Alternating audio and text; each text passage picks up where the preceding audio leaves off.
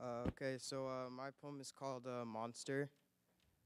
Uh, The feeling of being trapped in a box is one which no one adores. Being restricted and punished for something you cannot control. Anger courses through your veins like rivers rushing downhill while you try to explain that it's not your fault, but no one listens. You try to explain that you can't change the color of your skin. They will never see you for who you really are, but what they think and want you to be. Because they believe just based on my color, they know I'm gonna take their purse, kidnap their child, steal their car, sell them dope. In their eyes, they see a monster before them. A monster with abnormally dark skin, with dark, soulless eyes, a large nose, funny lips, and is supersized. Is faster and stronger than any regular man.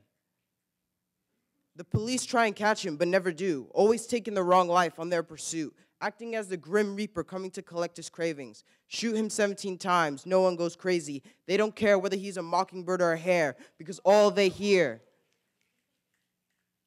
is black. Thank you.